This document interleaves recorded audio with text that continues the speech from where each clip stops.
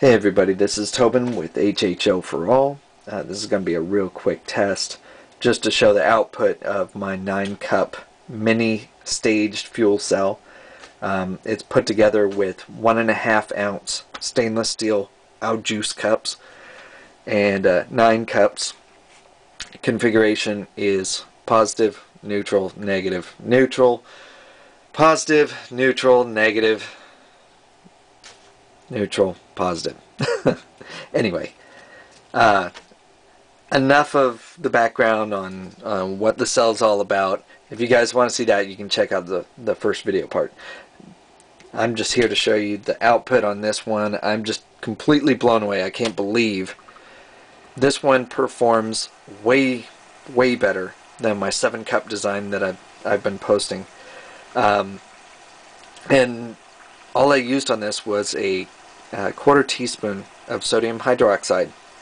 And I think part of the reason that I've got such massive output is because the saturation level, because it's just a 4x4 little enclosure, and it's not a larger enclosure like I've used in the past.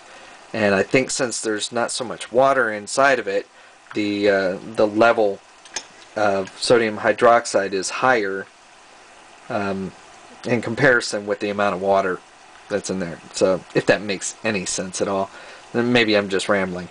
But uh, you know, it is what it is. I mean, look at it. There's tons of bubbles coming off of this thing, and so um, I think I'm onto something. But um, anyway, uh, leave me comments. Let me know what you think.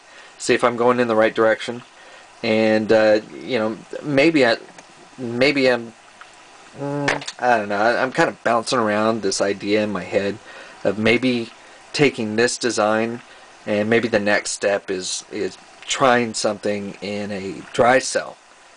You know, maybe a, a dry cell version of this fuel cell.